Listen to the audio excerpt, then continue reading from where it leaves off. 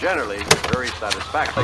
This is a plan for a super cartoon camera needed. Now, this is a different kind of drawing. Make cartoons more realistic.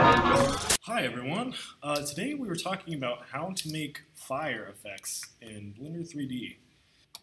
Alright, and now you want to go grab, go into Mesh, and then go into Iconosphere. Now you're going to go into Object and add a quick effect. Use Smoke. Now we're going to click on this Iconosphere and go into our Physics panel, which is right over here. We're going to change this from Smoke to Fire.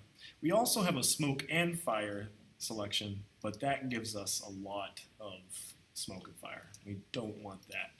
We want this to look as realistic as possible. So we go into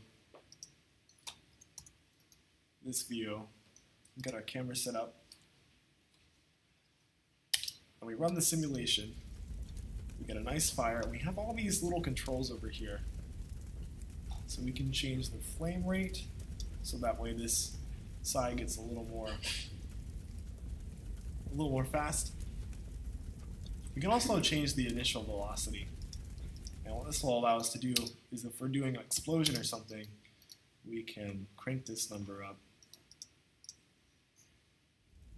and allow us to get some more drastic effects. So you can play with these um, and get some really cool effects, but it's nice to uh, have that option uh, within movies uh, so you don't have to do real fire because that would burn something down. Thank you for watching.